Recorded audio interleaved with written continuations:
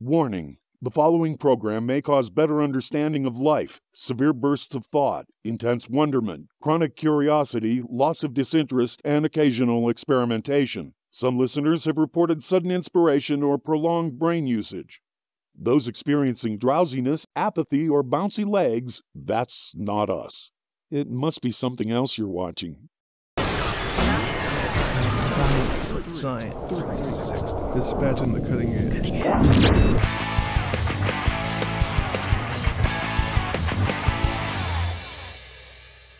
Kate, thanks for coming out to NSF today. Thanks for having me.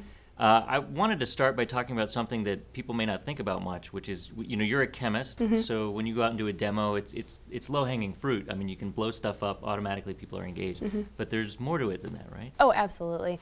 So, my entire goal is to try to show everybody that anybody can be a scientist. That's really my mission. And so, I personally really believe in the theory of emotional memory. It's William James's theory of emotional memory. And basically, what that theory says is that if you create an emotional response from your audience, they're likely to remember whatever it is that you're trying to say.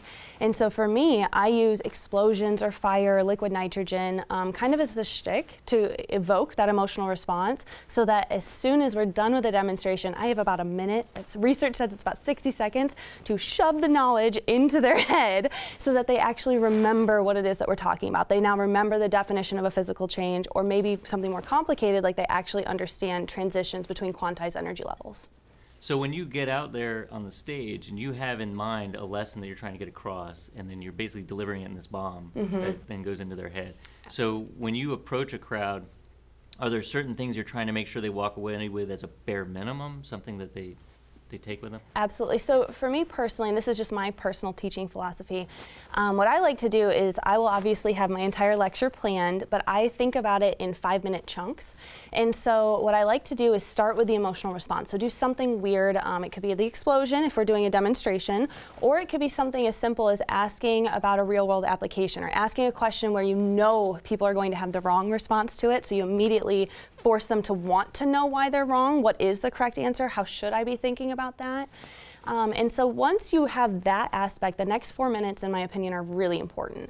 Um, personally, I like to talk to the B student, someone who has a decent understanding but isn't maybe the best person, not the full story. Um, so I love to teach the B student, tell them the majority of everything, but then you have to dive so deep into the nitty gritty details. They want the students want to know where the electron is. They want to know where the protons are. Did they move? Did something shift? They want to know everything. And so for me, it's so important to do an emotional response, talk to the majority of your audience, but then you have to hit them with the hard science. But the most important thing, and this is what people sometimes forget, is you have to end with the, the step back. You, you're going to end with the one sentence. So if you couldn't follow anything that I was just saying there, if you listen to this one sentence I'm going to give you, now you have a shot at understanding again what quantized energy would be. And that gets to the issue of you know the, the people will say, well, you want to work to this crowd that's that's the hardest to reach, Mm-hmm. and yet the reality is that there, there's the crowd is much more complicated than that. And the hardest to reach, you know, it's great if you reach them, um, but it also helps to to give them something that motivates them to want to learn more and to go Mm-hmm. somewhere else. At the same time, you're also reaching out to students who might be ex- excelling at what they do, and you don't want to lose them in the process. Right.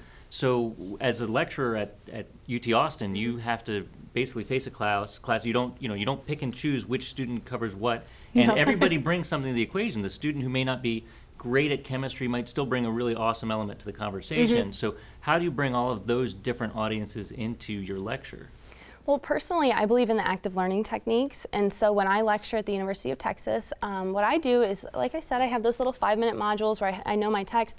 But personally, I walk around. So I have a classroom of 500 students and I walk through there. They know I'm coming through. I wear heels so they hear me coming. They know I'm coming behind them.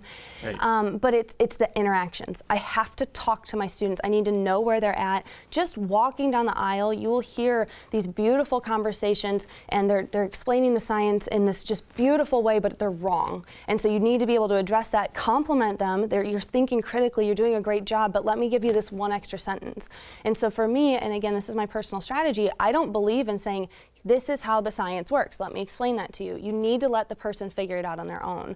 Um, if I told you pressure and volume are inversely proportional, there's, you might remember that when you walk away. But if I give you a syringe and have you put your finger on one side and open and close it, you will feel the pressure change. You'll feel right. that volume, that, that relationship. And so that's something I do in the first three weeks of class. I give every student a syringe. I'm like, let's go. We'll play with it. And I walk around and it's fun. You can shoot, shoot them with water. so th- that also brings up another element of it, which is you actually engage the audience into into what they're doing. So I mean, with when when you do demos like on Colbert or on Wendy Williams, mm-hmm. um, how does the audience react? I mean, do, uh, do they have like you know you're going to get wet in the front type of things? Are they wearing? well, usually they have no idea what they're in for, ah, okay. which I love. I love an audience who sees a girl walk out in boots and a blue lab coat, and I I mean I'm bubbly. I am who I am. I have to s- stick to you know I, I like to be my authentic self. Um, but as soon as I start talking, you're going to have the people who want to know everything. They lean in, they're interested, and then you will also have the exact opposite response where they're saying, This is awful, this is terrible, I can't believe I stood in line to get my ticket for Colbert, and now I'm sitting through a chemistry lecture. I mean, how did that happen? But um, at least for Colbert, within about 30 seconds, that audience was mine. I had them hooked, and it's it's because I use my energy. I, I tell them that I am so passionate about chemistry. It's my favorite thing in the world. And if you have just a bare minimum understanding of the fundamental principles of chemistry, you honestly can explain everything that's going on around you. You know, why is a cement truck moving? Why do we use salt on our streets? I'm, I'm from Michigan, so you know when it's icy. use a lot of salt on the streets. Yeah, yeah, Why yeah. do you use that? And why do you use what type of salt do you use? You know, why is that? And so for me, any time where I can kind of engage people, get them excited about it, and then hopefully maybe believe that chemistry is the best science in the world, that, that's kind of my goal. we don't pick favorites at NSF. oh, right, but, right, right, sorry. But what I will say is, is that, that that approach definitely seems to work. What do you do when the audience is other scientists who mm-hmm. um, they still may have something to learn? And, and the one thing I've learned here is that scientists in one field um, are as inexperienced about another field as uh, as you know somebody might be off the street and yet interested and engaged. Mm-hmm. So, how do you reach that audience? Well, to be honest, I have to use the opposite side of my personality. So, when I walk into a lecture where I know it's going to be PhD whatever's, you know. Yep. I cannot be bubbly Kate where I'm excited and look at this fire and oh, it's green, isn't that amazing? You can't, you just can't. And so for me, honestly, the first 10 minutes of that lecture, that audience hates me. They, they have an opinion about who I am. I used to be a kickboxing instructor when I was in graduate school, so that comes out. They, they can sniff that. Um, but after about 10 minutes with a true academic crowd, they're with me. They understand that I'm an articulate person, I have a brain, and I can talk about chemistry and Mars and geology and everything else. And so it, it just takes a little bit of that interaction, but I do have to prove myself. I have to prove that I have a PhD in inorganic chemistry, that I spent a lot of time working on catalysts that were active for the Suzuki-Miyaura cross-coupling reaction. Um, and if nice. I don't, you know what I mean? Right. If I don't, if I don't throw that in there, they'll immediately want to put me in the fitness instructor who who likes fire. Well, there's the credentials that mm-hmm. you know. Mm-hmm. There's and then this goes for a range of audiences. I mean, I imagine when you do a range of different things, you, you bring to the table whatever credential they need to know to, to move it forward. Mm-hmm. So when you engage those audiences, what do the what do the lectures look like? I'm, I mean, you probably don't get too far into the weeds, but do you still try to balance it, or do you want them walking away being better communicators, or do they want it's more about that just them accepting you. Yeah, it's right. more about walking away from the lecture with something, right? I mean, to be completely honest, I'm the least important part there. I, I, like it. I'm selfishly loving what I do, right. but that's that's irrelevant to what's going on. The goal is to, just like you said, a get your community to be better science communicators. We just have to do that. I'm trying to empower my graduate students at the University of Texas right now. Um, I have several different groups where the whole point is science communication, where I'm trying to teach them how to talk to a kindergartner, a senior in high school, a college kid, a graduate kid, um, an actual PhD, and your grandpa. I mean, there's that whole range you need to go from five, five's my limit, I can't talk to someone below five, but five to about 70, you have to be able to do that. And it's from a completely different aspect. So there is a science communication component to that as well. But truly, I do want them to learn. I want them to learn. I want them to see exactly what it is that I'm trying to illustrate. I want them to be able to visualize it. And that's right. the hardest part about chemistry, in my opinion, is that it's so minute. It's this micro um, science, for, for lack of better words, but the macro application is everywhere. And so I want to be able to explain micro so that when they see macro, it's like, oh, chemistry. Easy. Yeah, I talk to people a lot about how, how you have to understand that the public is willing to suspend disbelief. You mm-hmm. know, they mm-hmm. we see it, we can imagine it. If you get them to that point, then they can go on and, and learn from that. So when you get them to suspend disbelief, what are some of the things you can get them to walk away from, with it? Oh, everything. Honestly, everything. So you just once they buy in, then you can have the conversation and you can talk about the scientific principles. Um, but it that it what you said is the hardest part is actually getting them to believe that or get into that uncomfortable zone. It's Right. just it's difficult, and people adults don't like feeling vulnerable with their with their intellect, and that's kind of what you ask them to do. And I'm I'm young. I'm 32 years old, and so I'm asking adult men to be vulnerable with me, and that doesn't go over well very often. So when you're trying to get people to let go and accept these things, you know, how do you break through that barrier? I mean, I, I think it's not just um, the vulnerability, but it's also just accepting the the wanting to learn. When you're Oh, outside of like yeah, say sure. this, a certain community that's engaged, but the general public and, and those sorts of things. Well, honestly, it depends on the person. I think you really have to tailor your conversation to that human. One of the first things I want to know is what is your background? Have you ever had a chemistry class? Have you ever had a physics class? Um, and so for me, it's the excitement that I have, the passion that I have about the science. But what I would love to do is then show them something. So if I can point to data, if I can point to a graph, if there's just something, if there's something you can point to, usually they're more willing to come along with you. And it's just like a date. I mean, if you talk about a first date, you're never supposed to go to a dinner and talk to each other because it's internally focused. And so perfect first date is supposed to be externally focused. So you're looking at a movie, you're going on a walk, looking at something. It's the same thing with science. If I'm looking at someone and trying to force this information, they might not get it. But if I'm pointing to this and talking about it and getting really excited and then gauging their understanding, you can take people to a really deep understanding of quantum mechanics if they give you their attention and the time. Exactly, and you brought this up quite a bit that there's a there's a human nature to all of this, and there's a lot of science in that. And you were telling me earlier that your family is all all of their background is not chemistry, but, Yeah. but psychology. They're all psychologists. I'm the black sheep of the family. Yes. I don't like emotions, but I do appreciate them. well, and you use how the people learn. I mean, Mm-hmm. the human being is the human being, right? And so then you get into a situation where everybody thinks that you have to somehow uh, uh, get beyond human nature, but you can also work with human nature to get, like you said, to get the entry point, Mm-hmm. to get them to then accept. Okay, you blew something up, you have their attention, but then also to get them to suspend disbelief, and then now you're going to introduce this lesson. So, what other things have you picked up from your family that help you succeed at what you're doing? I mean, you very quickly risen. You said you've been doing this about four years, Yeah. and you've gone from doing incredible outreach. You were saying to 20,000 students a year, Yes. which is amazing, and you continue that while adding in going to Colbert and Wendy Williams and all of this stuff. So, what are you using from the, your your family's teaching to to do all of that? Well, part of it is my dad was very big on you control your own emotions. Like, I can't make you mad, you let yourself get mad, basically. And so, with that, I try to take that theory and flip it on its head. So, I can't make you excited, but I can be passionate and I can be incredibly maybe engage i don't know if that's the right word but engage in what i'm doing and so i can try to evoke that human response from you that's natural right, and then use that and i almost feel manipulative doing that but i honestly am trying to kind of evoke that human response and then hit you with the science hit you with the, what i think is the best part about planet earth The science. it is. I love it. I mean, honestly, I swear I was put on Earth. I know we're the only, that's where we live, but I swear we're here because of science. And I just think it's so incredible, all the things we can learn. And I'm so grateful to be here now when we have the internet, because I think if I was born 50 years ago, my education would be so different. I love that I can pull up the internet after this conversation. If you mention something, I can learn about it and be a quote unquote expert in probably 30 minutes. And I just love that. Right.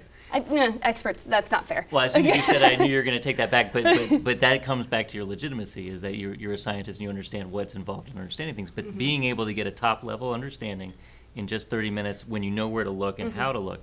So as a communicator who's going out there into the world trying to reach the broadest possible audience with things that people may have never seen before, mm-hmm. how do you help people separate between what's what's reality and what's not? Well, that's it's such a good question because when my students show up, I usually get the incoming freshmen. They're 18. They're learning stoichiometry and how to do their laundry at the exact same time. Right. And so for me, what I'm trying to do is add a third piece in there. What is a good source? Because now they're actually they have their phones, they have apps, they have everything. So I want to make sure they're looking at what a good what I would consider to be a good source. So what I do in my class is I break it up by the unit. There's four units per semester, and so every unit there's like a little lesson. And so the first one is something very simple, where it's an article from the Onion, and I have a beautiful, yeah, it's talking about a satellite that's going around the Earth, and it's quite a problem because its extension cord that's connected to the Earth keeps getting tangled. And so they're trying, right, and so they're trying to figure out how to do that. And so I just send in this article, and I say, guys, I, I found this great article. It's beautiful. You should read it. Done. And then we talk about it, and half of them know the onion's bad, but some of them don't know that. They don't know. And so we just talk about that, and we start with the onion because it's a beautiful source. And then we And get it's satire, so it's, it's- very easy to understand that they intend it to be mm-hmm. right. there are a couple students who don't get that, and so that's my goal to kind of work through that. But after unit one, they're with me. So that's actually a starting point. Is that there are students who don't necessarily recognize this, even after they read the article, they don't. Mm-hmm. That's important. And I, I work in Texas, so there's a huge state, and there's a variety of different education levels and what they're taught in the high school. So some students honestly can come to UT on, never having had the conversation about what's a good source. They think quoting Wikipedia is okay, which don't get me wrong, Wikipedia is for the most part pretty actual and factual, but I want you to go to the real source. What, what is Wikipedia quoting? Let's start there. Exactly. Um, so things like that. And that's also a key element, which is that information you may find, and this happens even in science publication, um, it, it- which we know, but not everybody may know, that, that things can be biased, and so you look to broader sources and expertise and data to get to things. So, so when you look at science itself as, as an experience and an approach to understanding the universe, and as you were saying, be, you know, being dropped here and trying to learn and understand as much as we can about it, um, how do you look to science when you're trying to answer a question so that you know that it's it's factual and not biased or pushed in one direction or another? Well, it's a learned skill, to be honest. Uh, you have to be able to read through something and say, wait a minute, that felt kind of like an opinion. And so for me, when I look at a peer reviewed journal, my favorite ones don't ever have the word I or we or anything like that. It's primarily these are the facts, here's the data. And so for me, it's all about looking at an actual plot, um, something, and trying to interpret that basically. And then when Kind you, of lost your question, sorry. well, no, no, but then when you have that plot and you understand it, but then how do you know when it's something that's completely unfamiliar? Uh, is it a good data set? Mm. Is it a good source? Is it And so for me, I, I'm trying to encourage my students to look at peer reviewed journals. A lot of times that's a brand new phrase. They've never even heard that. And so I have to explain what that is. Um, and so when you set up a list of things, so like science and nature, you know you're getting, well, you, you hope you're getting something that has been vetted and it has accurate information in there. And more importantly, that every single one of the experiments that were run has been replicated. And so for me, that's a, a big piece as I try to teach my students. If you're, if the science is not replicated, if they're just doing one thing one time and they can't say anything else or you don't notice that, that's a good way to notice that you have a bad source as well. Um, but I really try to get them to identify what a blog is. That's a big step is what is a blog and a blog is not something that's factual necessarily. They could be the most personal and wonderful educated person writing but it's also very possible that there's this there was one case recently where a dietitian was talking about how after you get off planes they spray you down with chemicals. And all these people were quoting it and like quoting her and everything and it was it was quite nasty because the scientific community came in and said Let, let's check this let's fact check this and her whole blog got shut down um, and so things like that are shut down important it was inaccurate? it was inaccurate. Well, I, basically, what happened is she was trolled a lot then, um, and people were mocking her, and then I believe she decided personally to shut it down. But as a scientific community, it is important to kind of speak up if you see something that is inaccurate. And so I personally am very passionate about vaccines, um, and so that's something I just can't let somebody say something that's inaccurate around me. I have to check that, fact check it. And so as a community, if we do that and encourage people to fact check, and then ask the question, where did you read that? Could you send me that article? Like, oh, that looks like a blog. Could you send me the? the I, I'm looking for something a little bit deeper, and just ask the question. Have that person then realize, oh, wait, maybe this isn't actually a good source. But if you tell someone the blog's bad, they're not going to listen to you. Well, and then there's also the question of how you get beyond peer-reviewed journals, because when you and I can jump into a peer-reviewed article and, and, and any topic Right. and work our way through it, um, but that takes you know a decade or more of experience to really do that. What is it that that somebody who sees something that they're curious about, something that they they want to understand better, what sources can they go to that are, are not necessarily peer reviewed, but are still legitimate and understandable and, and accurate, most importantly, accurate? Well, it really, to be honest, it depends on what you're interested in. I think it's important to find good um, easily accessible information that you, that you can have. And so right now we're in the days of the phone, the iPhone, the smartphone. And so I think it's important to have accurate apps that you value. I think NSF is a great resource where you can reach out and they yeah. point you in directions. I think it's fantastic. Um, NIH, which is kind of with you guys yeah. um, as well. But there's also things, I have an, an app on my phone that's a science app. It's just called Science. And I read that every single day. That's how I start my day. And I like that. I also personally like the science section of the Washington Post. And so I look at those two first. Um, and then when I have com conversations with friends, colleagues, anywhere with the science background, right. I mention that and I try right. to put it out there. And then you get feedback from others in, in the fields to I do. When you have those conversations. I do. And so for me, it's talking to your peers, figuring out what they like, what they value. And I also 100%, this is kind of off topic, but I really think you need a mentor in this field, somebody who's been through this. I have incredible mentors. Unfortunately, they're all male um, because there's not very many female mentors out there right now for me, but we're going to change that hopefully. Um, but they can point you in the right direction. And so I have certain um, article or peer-reviewed journals that I never looked at when I was in graduate school because I was in chemistry, inorganic chemistry. That was my world. And now I'm stepping back, and I, there's some physical chemistry journals that I like, but they're kind of hard for me to understand because it gets really deep in the math. But I, it's fun for me, and it personally, I approach it like a puzzle. This is my Sudoku of the day. That's awesome. so when you brought up your prior research, mm -hmm. I'm going to put you on the spot a okay. little bit because at, when I do science communications outreach, a lot of times I'll throw my abstract up from my master's thesis mm -hmm. because it doesn't in anywhere say that I worked on meteorites. It just uses jargon. Yeah. And so I show people, look, I've made this mistake many times. And so, in addition to breaking the ice, it shows people that, that you can be an expert in something, but not necessarily be able to communicate it well. Mm-hmm. So, I'm going to put you on the spot and ask you, what was your thesis on, okay. and uh, what was its you know impact on society?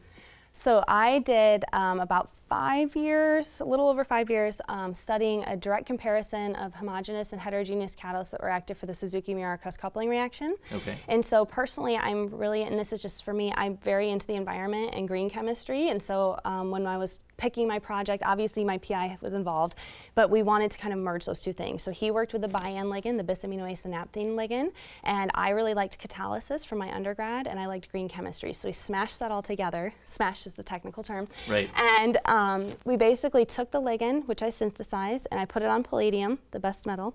Um, and then from there, I tried to figure out how I could have an open site on my palladium because, you know, through the different mechanisms, you have to figure out how you can do your binding. And so for those of you that aren't familiar with the Suzuki-Murata cross-coupling reaction, basically you're just trying to use a palladium catalyst to form a carbon-carbon bond between two benzene rings. And so I would functionalize my benzene rings, study the different um, aspects of that. But for me, what was most important is I was doing this in water. And so I could use a solvent that was benign. It's not benzene, it's not DCM, anything like that. Sorry, dichloromethane. Um, but it's, it's benign. And so what I loved is that I could study my homogeneous catalyst. We, we completely um, optimized it and figured out how it works best and what pieces it needs to have on there. But then what we did is we tethered that catalyst to a bead of silica. And so what I loved is that I actually made a heterogeneous catalyst so I could physically, with tongs, or tweezers more so, put put them into my vial, because I did everything in small vials, put it in there, rinse off my catalyst, and dump it in the next one. And so I could study it over and over and over again. And so to see what was a better catalyst, obviously the homogeneous one was better because it's in phase, it's more surface area, it's easier to do the catalysis. But I did find out a way to do a reusable or recyclable catalyst in water. In water. In water. And what I just found out is about maybe a month ago or so, somebody took my research and another one of my lab mates' research and mashed those together. So now it's an even different catalyst, and it's just I'm just so happy with where it's going. So that's awesome. So then now in the the if you were going to explain that to your entry level students when okay. they walk in the door, what would you tell them? Okay, so because uh, the other thing is you've got all of these elements of real value to mm -hmm. society. So you, uh, again, the low-hanging fruit here, but you're actually lucky in that you can help incorporate that. But how would you say to explain the research and its value to society? I actually think that's easy. So a catalyst, it, what they're taught in high school, is something that speeds up a reaction, but that's wrong. What it actually does is provides an alternate mechanism. So I start off with saying, usually we go from A to B like this. In a crazy way. And then we add this palladium catalyst and boom, it just shoots straight across. So it's a different route basically on, on the highway, however you want to think about Different it. Different route to do chemistry. Yeah, different route to do chemistry. And that's, that's where I leave it because they know the word catalyst. I fix their definition of catalysis because that's what's most important to me. And then I just say, okay, you've heard of carbon before. So have you seen those little, I'm blanking on the, the shape. What's a benzene? It's a hexagon. Hexagon. Thank you. if you've seen these hexagons, I draw a line between them. And using palladium makes me able to create that carbon-carbon bond. And carbon-carbon bonds are essential for life. They're in drugs, they're in all pharmaceuticals, they're in every, I mean, they're even in just synthesis to make a more complicated you know, molecule, whatever it is that you're trying to do. And so it's essential for chemistry. And so I tried to figure out a way to do that safely in benign solvents and in the best way possible. Great. They're still working on it though. No, that's great.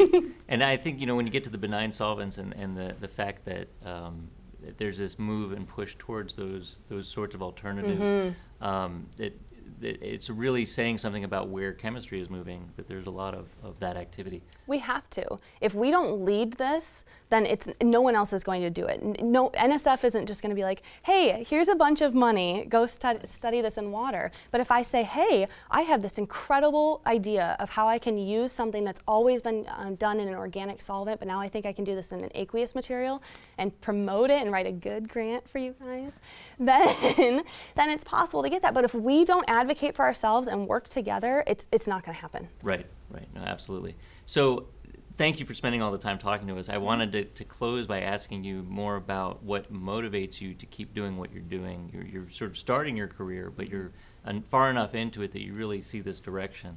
Um, and what is it that's driving you to continue to do this outreach and to keep going year after year? Oh, how much time do you have? This is Yeah, the last question? Okay. Um, I would say it's threefold. So, this is everything that I'm doing is purely selfish. I love being in front of a crowd. I enjoy it. It is it's 100% where I'm supposed to be. So, I have to acknowledge that. But more importantly, there is nothing better than when you have a conversation with a student and you see the light bulb moment. That's I will do this for the rest of my life for that exact that just there's a story with my sister when she came downstairs when she was crying hysterically in high school because she was having trouble solving a problem and i fixed it like that and i watched her turn into this like confident sophomore and she you know she just felt smart and beautiful and i will never forget that moment because that's when it started for me. I realized what i had just done. I- really didn't do anything. I just kind of pointed to some things to let her brain make the connection it needed to make. Um, and so that's that's really where that's at. That honestly, the true answer to what you said is that. But the last thing I would say is that I had an incredible high school teacher. Her name was Mrs. Kelly Palsrock in um, Portage, Michigan, so small town. But she was my sophomore teacher, and she loved chemistry. And I fell in love with it because of her. So ever since I was 15, I knew I wanted to be a chemist. So this isn't a tribute to Mrs. Palsrock, but it's definitely something. I, I just I want her to be proud of me. I hope she is. I, am, I Please, are cannot imagine that she's not proud of you. I imagine she is completely excited. You'll have to ask her if she saw you on Colbert and, and see what I'm going to see her next week, so I'm going to ask her. That's great. Thank you, Kate. Thank you very much for joining Thank you us. for your time. I really appreciate Absolutely. it. Thank you.